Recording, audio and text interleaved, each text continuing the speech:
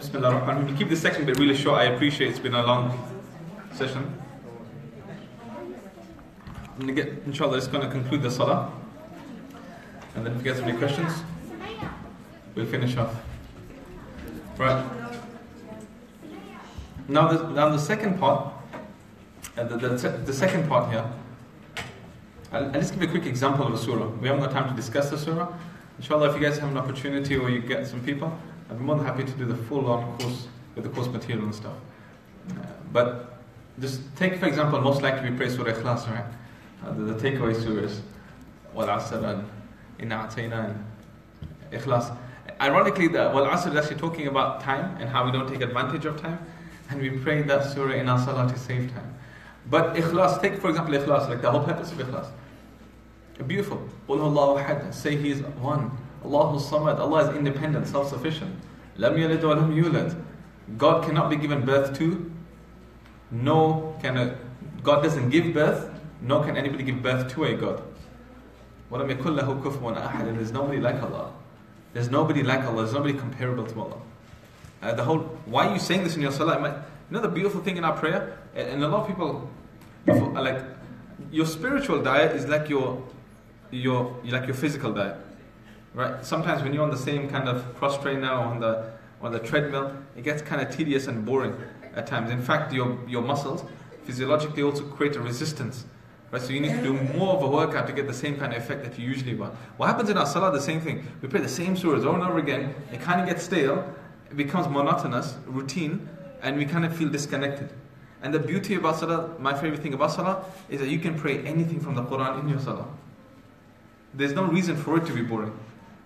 And so instead of just praying the like the same surahs over and over again, when it kind of gets boring, is mix it up, mix it up, right? So in your salah, you can pray three short ayats. Yasin wal Quran al Hakim Muslim. That's one. That's enough. Mini, bare minimum. I'm saying.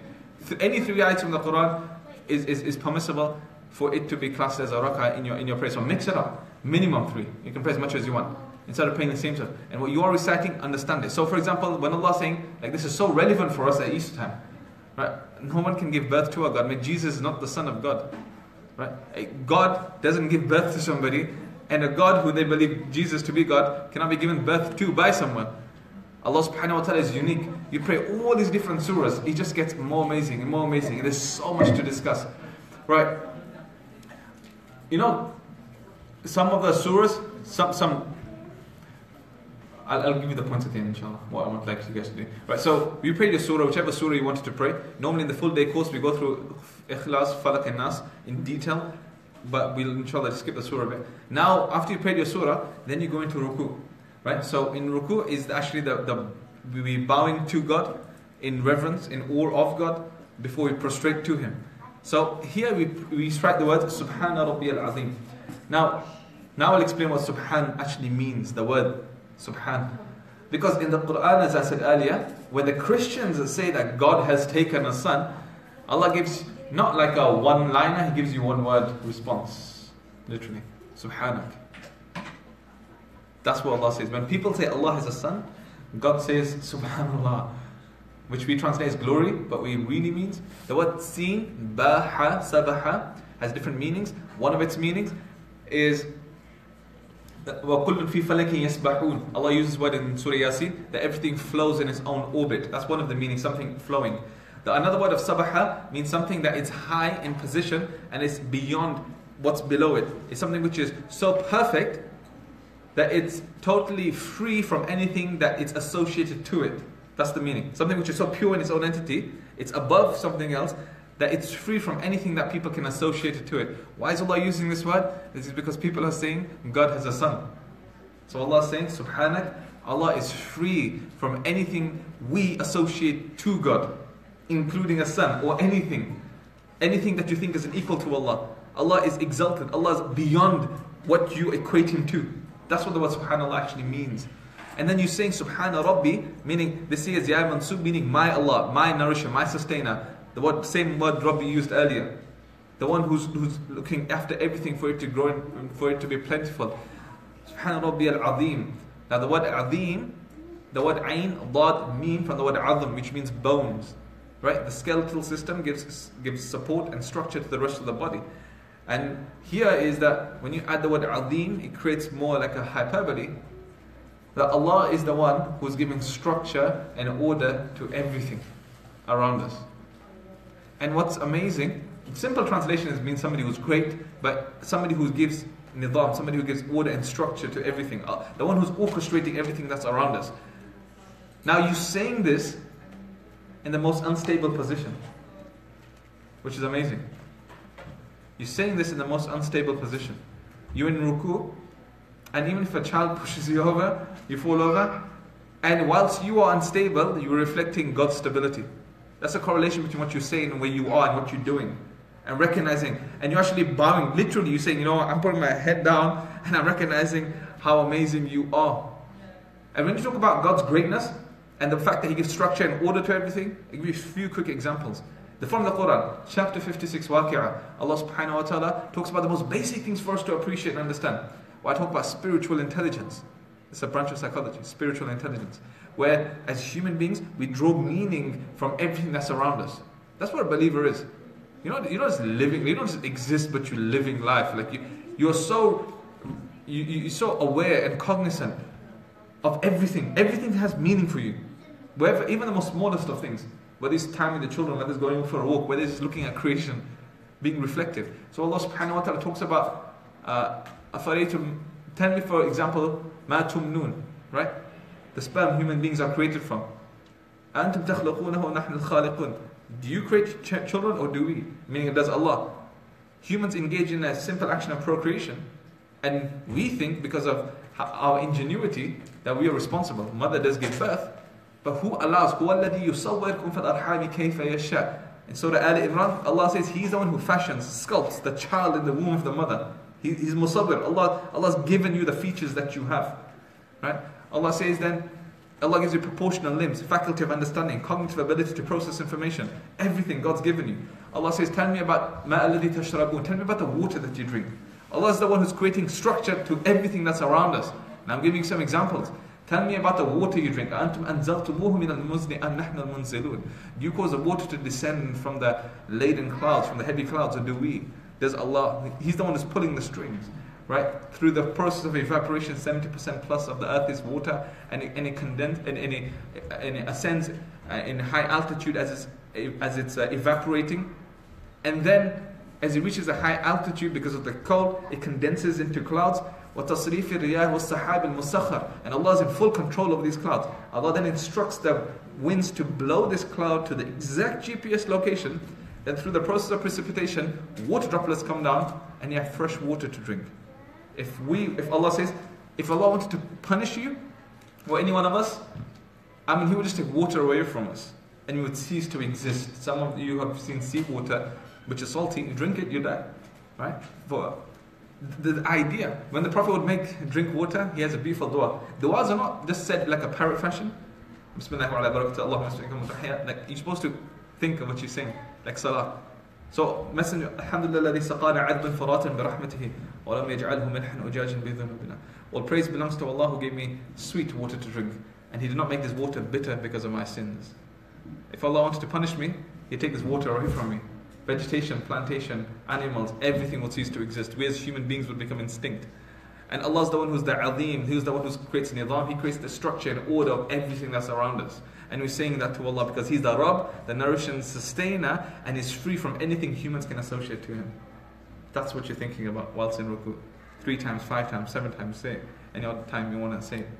Right? Reflecting, thinking, thinking about God's greatness about this. And then you stand up. Allahu. Allah listens to the one who praises Him. Allah listens to the one who praises Him. Rabbana lakal hamd. Oh Allah, for you belongs all praise and thanks. Such a beautiful part. I bow down to, I've, I bow down, I mean, I've, I've, I've done ruku and I'm coming up. Allah, you listen to the one who praises you. And oh Allah, I'm praising you.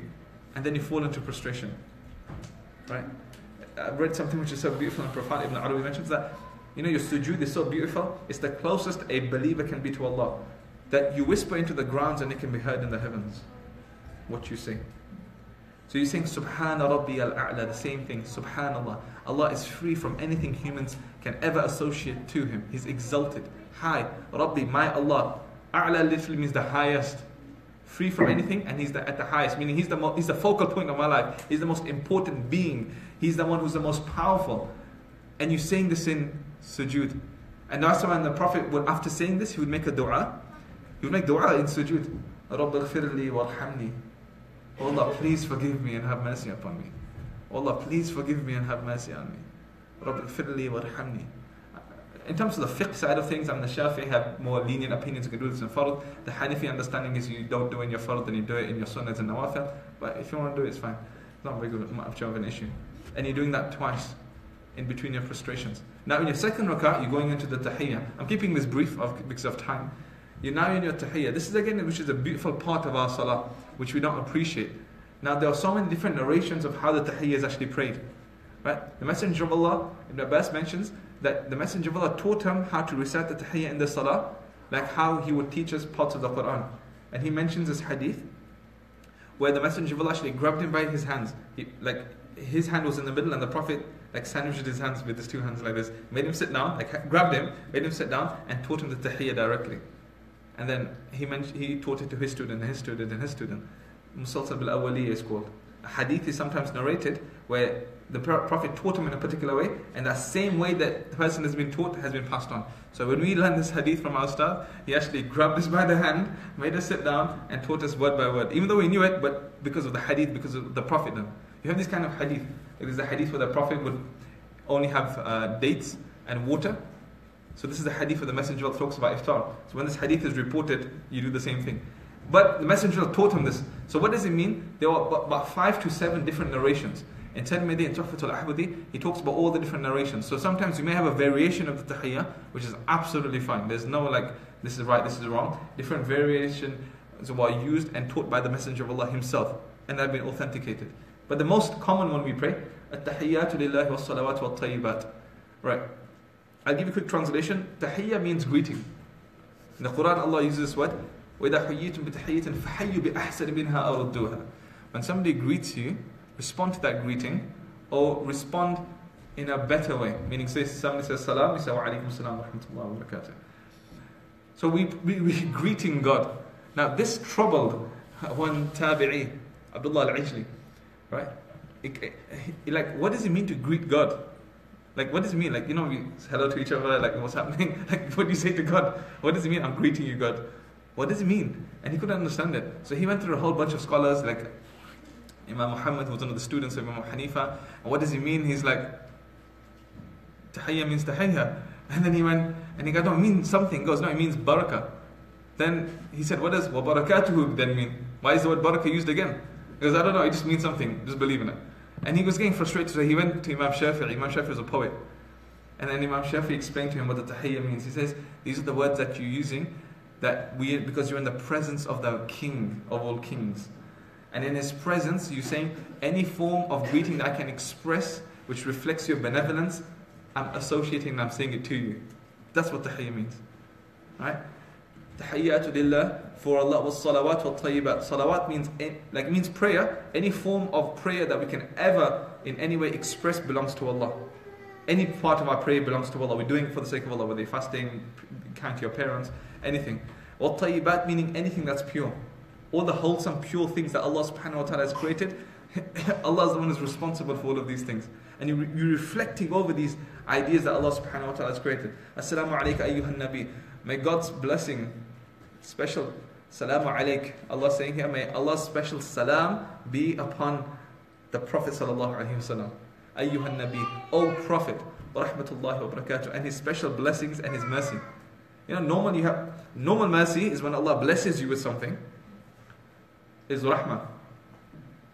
The exclusive, special mercy is salawat. You know when somebody passes, I mentioned something deep here. When somebody passes away, we pray. What's the dua we pray? Inna lillahi wa inna ilayhi raji'un. We, we just like pray for the sake of praying. Why? Why? In Baqarah, Allah even mentions, الَّذِينَ إِذَا أَصَابَتْهُمْ مُصِيبَةٌ قالوا إنا لله وإنا إليه راجعون. Those who have been inflicted with a difficulty, with a musibah, inflicted like a trial, difficulty, Done over. Right? How do you deal with that situation? These people say, To Allah we belong, and normal translation again, and to Him we will return, which is a mistranslation here. The real translation here, to Allah we belong, and to Him we are returning. So raji'un is active participle, it's the fa'il, meaning I'm returning to Him now. You know when you go to Asda and you put your shopping on the conveyor belt and it's going out to check out? That's how life is. Every breath you take, every moment that passes, you're going closer to God. You're actually on that journey. You're not returning, you're not, gonna, not going to return to Him, you are returning to Him. Right? So that, that's what it means. And then Allah says that those people who say this, أُولَٰئِكَ عَلَيْهِمْ صَلَوَاتُ مِنْ رَبِّهِمْ these are the people whose Allah's special exclusive mercy comes upon these people because they're so conscious and aware of Allah that every action reflects that belief. And we're asking for that salawat to be upon the Prophet. The whole salawat ala Nabi is, is that the whole idea of sending these special greetings of Allah. This is Allah's special mercy that He sends on people. And we can also. And then, وَعَلَى عِبَادِ اللَّهِ الصَّالِحِينَ Allah says here, uh, Allah wants us to use these words. And he says, Allah also send your blessing on those who are righteous. Why this word is used? These words, the idea of mentioning righteous, is something which is aspirational for a believer. You have an aspirational target as a believer. Meaning, if you do what Allah tells you to do, then you will be included in the dua of every single person that prays on this earth, if you're from the Salihin. And, you, and all of the people who pray, and you're classed as a Salih, like a righteous, pious person, Everyone who prays salah is making dua for you. Their dua gets accepted, you get rewarded too. It's aspiration for a believer that my aim and objective in life is to be salih, to be righteous, and to be conscious and aware of Allah subhanahu wa ta'ala. And then it ends with the the shahud, um, with the, the wa la ilaha illallah, ashhadu abduhu wa rasulullah. I bear witness that there's only one Allah. And when you're saying this, you mean it. That's why you bring your finger up. Right? You, you're saying this is one Allah subhanahu wa ta'ala. I believe in the oneness of Allah. It's against a physical reflection and a manifestation of what's inside your iman. I believe in the oneness of Allah subhanahu wa ta'ala. And I believe that the Prophet is his abd, enslaved to him and worships him, and his Rasul. I say every part is my favorite part of Salah. My second favorite part is then the salawat upon the Prophet afterwards. Right? So you're sending your durood upon the Messenger of Allah. Right? Allahumma salli ala durud Ibrahim, salli ala Muhammad wa ala ali Muhammad. Allah, send your salawat, again the salli, the special mercy upon the Prophet and his family, the Ahl Bayt. I mean, you have to be Shia to love the Prophet's family. We love Ali radiallahu we love Ahl Bayt, we love Imam Hassan and Hussein, we love Fatima radiallahu anha. Ahl Bayt are special people. It's mentioned in Hadith, in Bukhari and in Muslim. They the Messenger of Allah refers to them as Ahl Bayt. We absolutely revere and love them. But Ali Muhammad is also his progeny. And he's saying, Oh Allah, send your blessings upon the Prophet and his family, just the way you sent your blessing upon Ibrahim and his family. Why? Again, uh, if I just a brief explanation. Ibrahim alayhi salam, his son is two sons. He had more than two sons, but these two sons. Ishaq and Ismail. Now, if you put Ishaq on this side, like the east side and the west side, put Ishaq here and Ismail there, all of the prophets of Banu Israel come from Ishaq alayhi salam. Ishaq alayhi salam's son is Thank you. Awkward pause there. Right, is Yaqub alayhi salam. Yaqub alayhi salam's son is? Yusuf alayhi salam, as well as Asbat, rest of his siblings. From there came all of the Banu Israel prophets. Sulaiman alayhi salam, Dawud alayhi salam, Musa alayhi salam, Harun alayhi salam. And there, Yazakri alayhi salam, Yahya alayhi. Their final prophet, who was the final prophet of Banu Israel? The, Israel, let me explain this is. Israel is another name for Yaqub. What is one of his names mentioned in the Quran. So Bani means children of Israel, mean children of Yaqub alayhi salam. So my question is that who's the last prophet then sent to Banu Israel? No. Yeah, Isa. They did recognize him, but that was the last prophet. Isa salam was the last prophet sent to Banu Israel. So, and he's coming from this side. The messenger of Allah doesn't come from that side. The messenger of Allah, remember when Ibrahim alayhi salam lives Hajar in the Arabia, Ismail, from there no descendants of prophets came, except the Prophet. So for us, Jesus is the penultimate prophet, but for Banu Israel, he's the final prophet, who the Jews don't even recognize, hence Christianity. But the idea here is that we believe that the Prophet ﷺ is the final messenger. So why are we comparing the Ibrahim ﷺ to the Prophet? Is because Ibrahim ﷺ is like the father of the three Abrahamic faiths. And the Messenger of Allah is the conclusion, the culmination of all the traditions. And everyone in between is Al of, of Ibrahim. Everyone else is the family of Ibrahim alayhi salam. It's really cool. And Ibrahim alayhi salam, why? He's, he's an amazing prophet who went through so much tribulation and trial and difficulty. Right? Everyone, he had to leave his, his father because his father's manufacturing idols, man, which is insane. Right? It's difficult for him. He went through dealing with his, his uh, leaving from one place to another, dealing with wife, so many situations, throwing into the fire, dealing with Namrud. Allah held him in such high esteem, right? The whole notion of idea of even having to possibly even contemplate the idea of slaughtering your own child. We just talk about Eid al-Adha like, yeah, just new clothes and we chill. But the whole purpose is you do what God tells you to do. This is a human sacrifice Allah is asking him to do. The Jews believe it was actually Ishaq al-Islam, mentioned in the Bible, in the Jewish Tanakh. But we believe it's Ismail al-Islam. Jews believe that it was actually Ishaq al-Islam who was supposed to be slaughtered, where the Dome of the Rock in Jerusalem is. Where the, that's where they believe the temple was. We believe it's actually Ishaq, it's Ismail al-Islam in Arabia, close to Makkah, when you go on, uh, on Hajj, the location which is the difference of understanding there. But the point is, so now we're saying, oh Allah, all the focus and attention give to Ibrahim Islam and his family, oh Allah send that kind of blessing plus more to the Prophet. Why? Fast forward the really quick version. What makes the Prophet so special? I mean, he's born when his father has passed away. By the age of six, his mother passes away. If you read about how his mother passes away, it's just insane. He has to bury his own mother. There's a hadith, I mean, you read the stuff, it's shocking. Right? He's passed into the custody of his grandfather, Abdul Muttalib. Grandfather passed away at the age of eight. Then he's moved on to the custody of his uncle, Abu Talib. Right? He's moved three, four primary care givers have passed away. I mean, psychologically, that can really affect you, your confidence, how you forge relationships, trust issues. It creates so many issues, but the Messenger of Allah still continues. At the age of 12, the Messenger of Allah goes on his first trip to Syria with Abu Talib. In his youth, nothing much happened uh, except that the Messenger of Allah was part of a treaty, uh, like a convention, like an institution, in his late teens, 18, 19 years old. It's called the like the Treaty of the, Hilf al like the, like the, the trust of virtue, the, the truce of virtue, where there was Abdullah bin Judan, who people who are widowed and orphans and downtrodden, exploited people in society. A bunch of Meccans got together and said, you know what, we're going to help these people. when and that time it was like a like a dog eat dog kind of society where you just kind of exploit people. That's how you work. But and the Messenger of Allah, even 20 years before Nubuwa, was so empathetic to his society that he was part of this.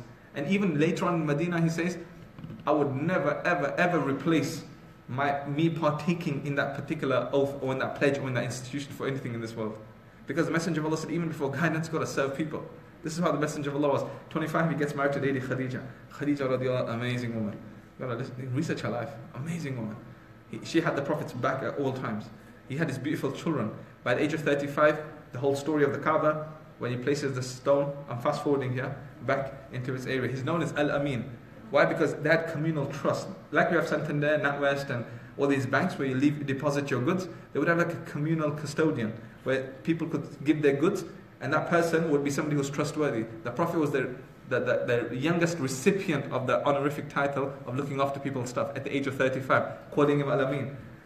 Messenger of Allah now feels so affected by what's happening in society that he's struggling to deal with why girls are being buried alive, why women are seen. The Quran mentions this. I'll mention it in a simple way, but women had no value. Like, absolutely no. Women were seen as, as, as possession before Islam. And, and people would inherit, you know, a man could marry as many women as he wanted. And the Quran mentions this in Surah Nisa.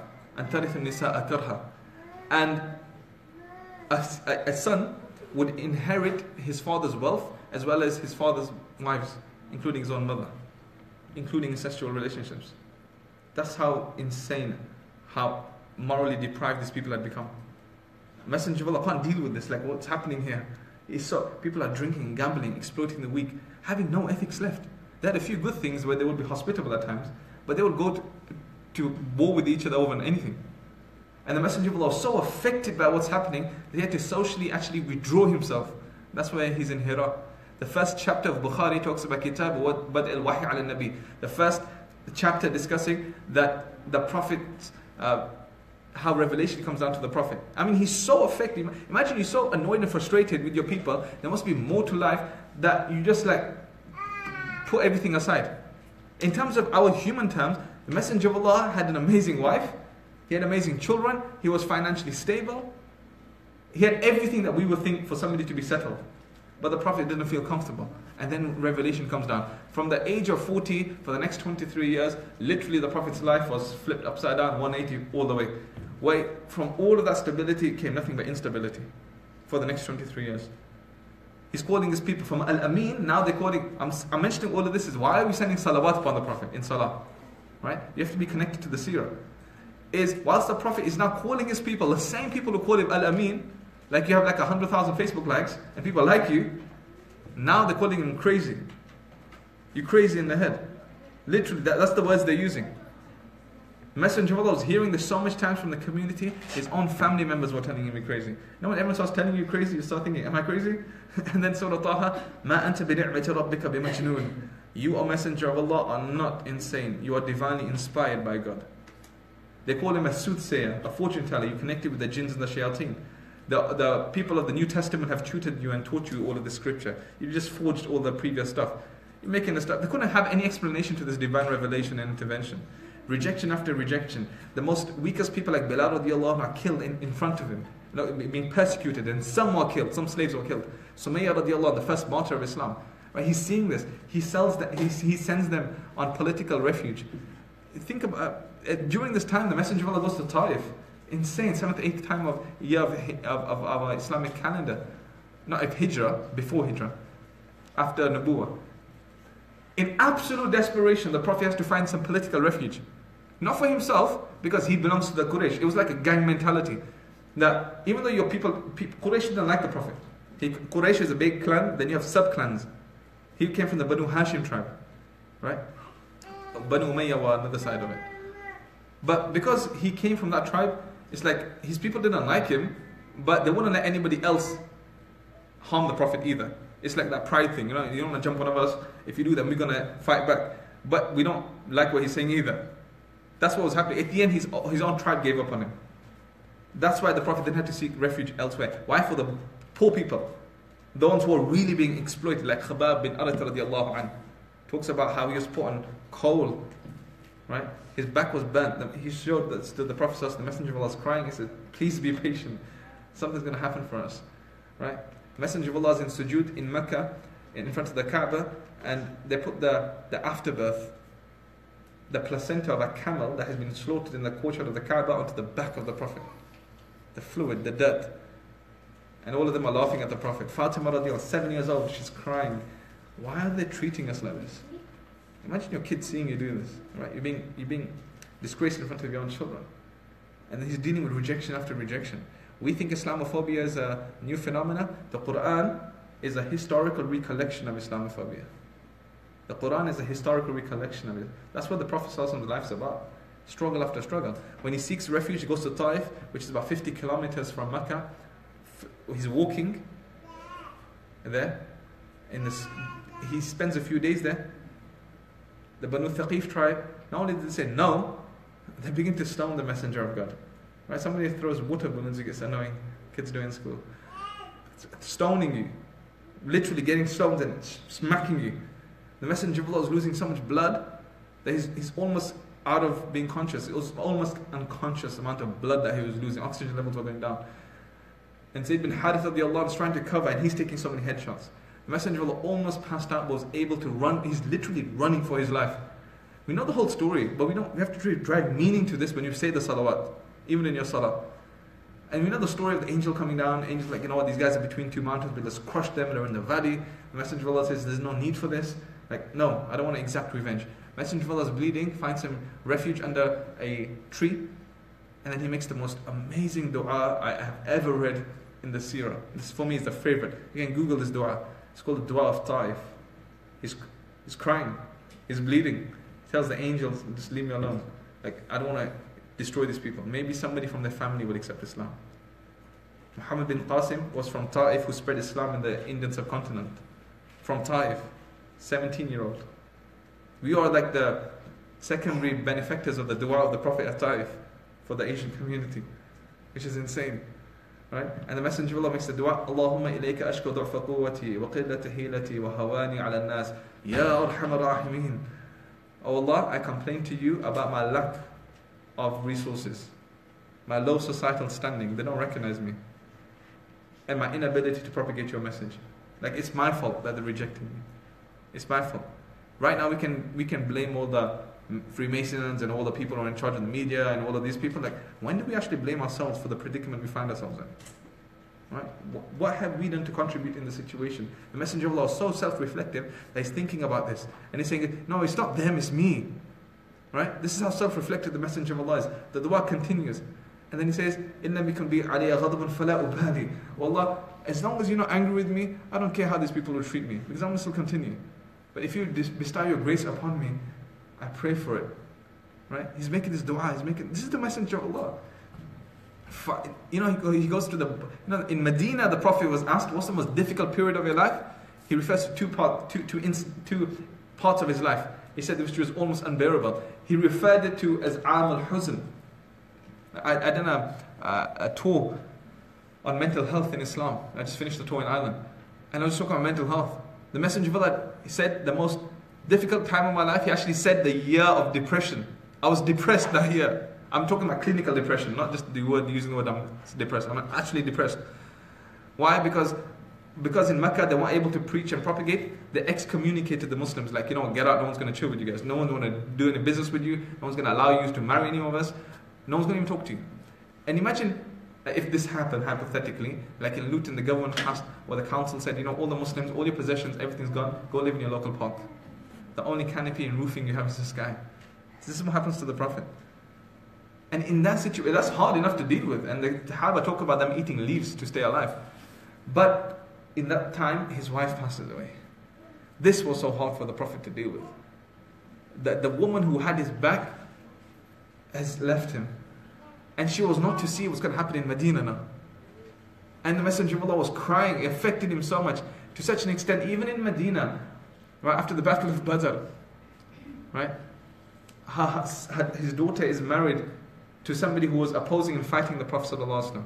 So the Messenger of Allah is ransoming some of these prisoners. And his own daughter from Mecca sent a necklace that her mother Khadija had given to her on her wedding. And the Messenger of Allah sees this and he breaks down in tears, just looking at a necklace. Because it reminded him of Lady Khadija. The Messenger of Allah would be so hospitable just to her friends because it reminded him of his wife. That's how much he, this is hard for the Prophet. And then his uncle passed away. Abu Talib passes away, the father of Ali radiallahu And he left without Iman. He died without Iman. Allah had to reveal to the Prophet, you don't guide man ahbabta. You don't guide who you love. Allah guides who He wishes. This is so hard for the Prophet. Somebody who supported him is now dying without Iman. And you think, okay, fine, in Medina the Prophet was chilling, like, okay. It's even more difficult. The challenge is what is different.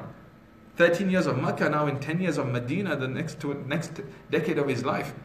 Every battle in Islam, remember this, post 53, right?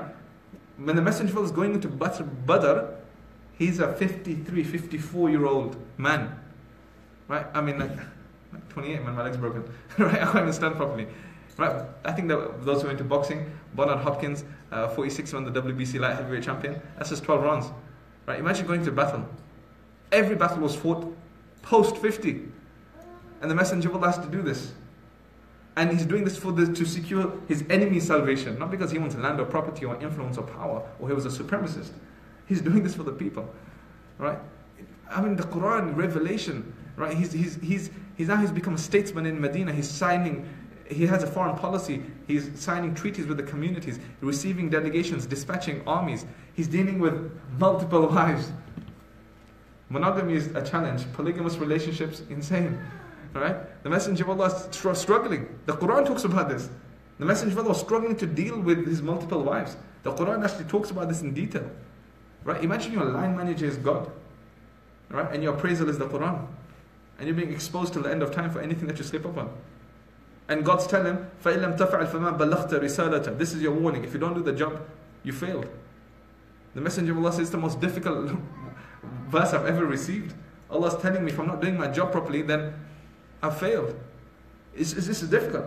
Right? He's, he's receiving wahi, he's helping the widows, he's the imam. he's, he's dealing with the hypocrites, he's dealing with the ones who are opposing him, he's dealing with the armies who are trying to kill him, the same people of Quraysh. The Muslims are also affecting the Prophet, the Bedouins who were not too cultured, they were harming the Prophet. And after he's done this whole thing, he sleeps for a short while and then he stands all night in Qiyam wa Layl Tahajjud. فَإِذَا فَرَغْتَ فَانْصَبْ When you finish your stuff, when you farigh, like when you finish the stuff in, with people, spend some one-on-one time with Allah until his feet will become swollen. This is the messenger of Allah. And when you mean salah, this is what we're thinking about who, why are we sending the special mercy? Because the messenger of Allah deserves this mercy. And, and the Messenger of Allah says, by invoking mercy upon the Messenger of Allah, 10 of our sins get forgiven. And we get 10, we get promoted 10 steps in paradise, higher position in paradise. This is what we're thinking about. And then the end of the salah is the dua. You can pray any dua normally you want, but most likely we pray that Allahumma inni zalamtu nafsi dhulman kathira. Oh Allah, I've oppressed myself. Why have you oppressed yourself? You're saying this in a dua. Why you oppressed yourself? Allah says in the Quran, وَمَا ظَلَمُهُمُ اللَّهُ وَلَكِنْ كَانُوا أَنفُسَهُمْ يَظْلِمُونَ Allah does not oppress people, but people oppress themselves. Like, what kind of insane weirdo would oppress themselves? Right? Why? It's because when you break God's commandments, you subjugate yourself to His punishment. And if you're driving now, you get six points, double the fine. Right? When the police stop you, you are on the phone when you're not supposed to. You punished yourself. When people disobey God, they're punishing themselves. They'll pay the price. So Allah says, you say, Allah, Rabbana dhalamna anfusana. This is also the dua of Adam alayhi salam. Very similar wording. When he was sent down to this earth.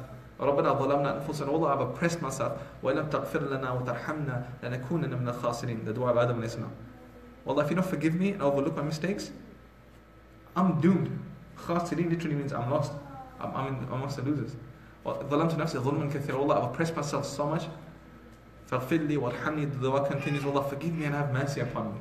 And you're asking Allah. And then you ending your salah with salam on each side. And the dua that the Prophet would pray after salah, Allahumma anta salam wa minka salam tabarakta ya dhal jalal wal ikram. There's a sahabi who was praising Allah. And he said, oh Allah, may peace be upon you. Saying salam to Allah. So the messenger was listening to him. And then the Messenger of Allah said to him, No, there's no such thing as saying salam to Allah because whoever can confer a blessing upon God must be greater than God. So, no, say this instead. Allah, you are the source of peace, and from you comes peace. This is the dua. Allahumma anta salam wa minka salam. You are the embodiment of peace, and from you comes peace. So send us peace, right? And and, and then you're doing the adhkar, you know, the the the tasbih of Fatima radiallahu anha. 33 times subhanallah. Again, you're thinking of how exalted and how perfect Allah is. 33 times alhamdulillah, and you're thinking about everything that you have. The, the fact that you woke up, the fact that you're praising Allah, you had food to drink, you have oxygen, you're in good health. You, this is what you think about. It's not just a verbal utterance going through a tasbih, it's actually thinking. Right? That's why in the qiyamah, it's actually weight, your actions are weight, or, um, or how heavy your actions are. Not necessarily of just I've done so much or accumulated, because each action holds particular merit to it. So it's not just going through 33 times, it's about what did each one of those 33 times mean to you. And then you say Allah Akbar 34 times. Now imagine you do this five times a day. The Prophet says, he said this hadith, you probably heard it before. Mentioned in Bukhari and in Muslim. Where the Messenger of Allah says, if somebody was to bathe five times a day, someone was go gym, right? You take a shower afterwards, probably take shower in the morning, it gets like the Messenger of Allah says, imagine somebody bathes five times a day. Like you hit the shower five times a day, or you live next to a stream and you bathe five times. Would this person be dirty? And the Sahaba said, of course not. Because this is the example of somebody who's spiritually malnourished, but he prays. There's no, uh, there's no way he can be sinful. Because Allah forgives him. Why? Because he doesn't, he's so aware of not committing the sin in the first place, because he's conscious of what he said in his salah, and any kind of slip ups he's made, as a result of his salah has been forgiven to him. That's what salah is. Right? This is a really short version of it, but there's so much for us to explore and understand. Some of the stuff that I would maybe, ex- I would really, teacher, right? I can't have to give you homework to ruin your guys' free time. Just a quick few points. Oops, sorry. Is what can you do now? Right? These lectures are just like an iman booster thing, but what are you supposed to practically do? I'm gonna give you guys some tips. Again, you guys catch me on Facebook. Is what's my name? No, that is my Sheikh Abdul Hameed. That's on Facebook. You can message me directly. You can I'll, I'll put these links up in my previous talks too. But what can you do? I want everyone here to study the Fatiha again, and I'll explain to you how you're going to do it. This is for this one year. Do this during Ramadan, you'll love it. Like Taraweeh won't be like a burden. The word Taraweeh comes to the Raha, which means like to chill out. Taraweeh for us is like, there, uh, it's punishment. Right? For, it's supposed to be like the chill out thing. Like, you know how you play FIFA 17 and stuff? You can't play that. Right? Or, you know, people watch like Netflix and people listen to Salah thinking about Harvey Specter, if Mike makes the bar or not, or Pablo Escobar from Narcos, or Bobby Axelrod from Billions. Alright? Or what's happening in EastEnders, or Coronation Street. Like, that's what happens in our Salah. That's what we think about. What's going to happen now? What did I do? What am I going to cook next? What's going to happen? That's why also, because you're not focusing on what you're saying. So, everyone's homework here, do this for one whole year. You need to stand on the Fatiha and I want you to study the last 10 surahs of the Quran, and I'll explain how. Your aim is to study the Fatiha because we recite it 17 times a day in our Fard Salah, and the last 10 surahs from Surah Fil to Surah Nas. Most likely we pray those surahs, that's right. Right? Tajweed and stuff is obviously important, but meaning is more important. How? I'll give you some tips. Number one, use two. You can use any tafsir that you want, but tafsirs which possibly you may prefer using because they've been translated well in English. Most number one, most commonly used is Ibn Kathir. So say, um, for example, I want to explore Fatiha. I'm to take one month to just focus on each surah should take you about a month, right? So 11 months in total, and then plus revising over it, and then it's working through the Quran slowly. So use Ibn Kathir. Now, if you don't want to buy the books, it's a tafsir book. Then there's a website that you can use. It's called Q Tafsir. Letter Q Tafsir.com. Q, the letter Q, tafsir.com, is the whole Ibn Kathir. If you go on Fatiha, it'll actually go point by point and explain the tafsir to you. That's one resource you use. You can use anything else, but in English, not many have been translated. Ma'arif al Quran has been translated. Ma'arif al Quran by Mufti Shafi Uthmani. Mufti Taqi Uthmani's father, the Pakistani Chief, ex Chief Justice. Amazing scholar. Ma'arif al Quran is called. Ma'arif al Quran. You can Google this stuff. M A A R I F U L. Ma'arif al Quran use both. So you're using Ibn Kathir, using Ma'arif al-Quran, you read the translations and you read the tafsir. You have your notebook. This is not passive learning, this is active learning, where you take about 20 minutes to half an hour, three times a week, spiritually, hence what my students call. Right? You want to be on a spiritual diet. Right? You want to 20 minutes to th- that's it. Don't do too much because you overexert yourself, then you can't commit. Right? Two to three times a week where you are spending reading the Fatiha Ma'arif al-Quran Ibn Kathir. Then, I'm sure you guys probably heard of Bayyinah TV and Nouman Ali Khan, and he has some amazing stuff. My, my teacher in uh, Leicester, he, Sheikh Riyad al-Haq, probably heard of him, I'm not sure if you have. He has also the whole Juz Amma on YouTube, surah by surah. His name is Sheikh Riyad al-Haq. Amazing British scholar, really knowledgeable. I mean, amazing. Uh, either listen to Ustad Rahman or listen to Sheikh Riyad or anyone who you enjoy listening to, anyone, like somebody who you know is legit and you want to listen to, you can download some podcasts. So it's audio visual learning. So you're writing it, you're reading it, and you're listening to it and watching it. That's how you retain. That's the only way you can retain stuff, right? And then you're going through your notes, and then you explore, and then you focus, and then you practice that in your salah. You know, before you go into the ring, you go on the bags, you're sparring, you're doing on your rounds. Before you go, you're simulating it. Your nawafil in your sunnah is simulating your fard.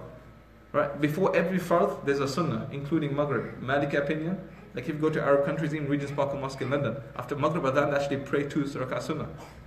Hanafi understanding is that it's not sunnah, but there are others who do believe it. Why? Is because before you do the main course, you have your starters. You get into the zone, right? I need to get there, be switched on, and then when I go into the fard, to focus. How are you going to practice this? Is pray some nawafil, genuinely do this and see how many times you get distracted in 12 in, in two rakats. In two rakat, see how many times and keep note. This is just like practice. Pray your nafil. When I done this with my ustad in my third year when I was studying, I daydreamed 12 times. I was thinking, what the heck are you thinking about yourself? Right? This is after studying everything. I still daydreaming. And then obviously you have to practice at it. Right? Try to be conscious, try to be aware, think about new things in your salah. Think about that that whole point is that the more Quran you understand, the more you have to think about and it kind of connects you, right? And the more things you have to, that's the whole purpose of salah. I done the same thing with my students. So we got um, 13, 14 year olds, and we gathered them, we done the whole 10 surahs with them, the Fatiha. And I said, okay, right, write all your stuff down. We practice two rakats. So we, all pray two rakats, and then we had a sheet of paper, everyone had to write the stuff down. So one kid said, I was distracted 13 times. I was like, he's a bigger shaitan than me, man. 13 times. That's insane. What the heck were you thinking about? And this is like a few years ago. So he goes, he mentioned the same point three times. He goes, Who killed Lucy Beale? on EastEnders. He goes, That's what I'm thinking about. but at least he's being truthful. And you're aware that that's what you're thinking about. And then what should you be thinking about? Okay, this is what I need to focus on. This, this it takes it takes effort. That's why in the Quran, when Allah's condemning, you know, the worst people, even people who are lower than Fir'aun in hell, are the hypocrites, the munafiqeen. And when Allah is describing them in the Quran, Allah says, وَإِذَا قَامُوا إِلَى الصَّلَاةِ قَامُوا كُسَالًا When they stand up for prayer, they pray in this kaslan, like really lazy, like, oh my God, it's end time, I have to pray. I don't really want to pray, but because everyone around me is praying, I have to do it. People will think I'm weird. Whether I have wudu or not, God knows. Right? And I just pray. Yura'un nas, like ostentatiously. You're only praying because your partner's forcing you, your parents are forcing you, your friends are forcing you, or just the social pressure is forcing you. وَلَا يَذْكُرُونَ اللَّهَ إِلَّا قَلِيلًا These words, listen to this. Allah says that they only remember God a little in their prayer. And the verse continues where Allah says, فِي الدَّرْكِ الْأَسْفَلِ مِنَ النَّارِ That these people will be in the lowest pits of hell. And Allah is saying that the hypocrites are remembering God but not enough compared to us being absent minded. Right? It's a huge thing. It's a huge thing. If somebody is deprived from the benefit of salah, I think you've been deprived from all good in life.